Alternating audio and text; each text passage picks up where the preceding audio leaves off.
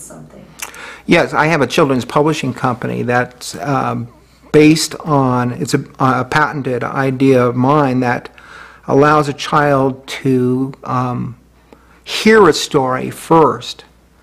And as they're hearing the story, they create the characters according to their own imagination.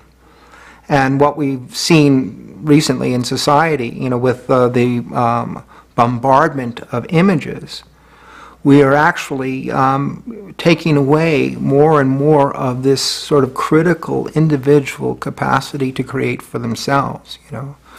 And so it's based on Bruno Bettelheim, some of the great, you know, psychologists and uh, authors, J.R.R. Tolkien. They, these uh, early, early children's writers, from C.S. Lewis, uh, Chesterton, they were all very concerned about the impact of illustrations on a child's developing mind.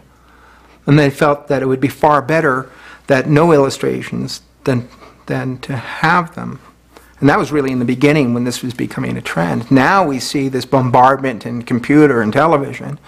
And what it's doing is slowly encroaching on, or very quickly, rapidly, encroaching upon a child's own ability to interpret for themselves. And I see this so often teaching at the college level because my students can really have no grasp of an original idea except that which they've seen on TV or music. Everything is reactive as opposed to original. And I think that's one of the facets of consciousness and of individuation that we are, you know, we are destroying. Yeah, I really hear you on that. Tell me about the power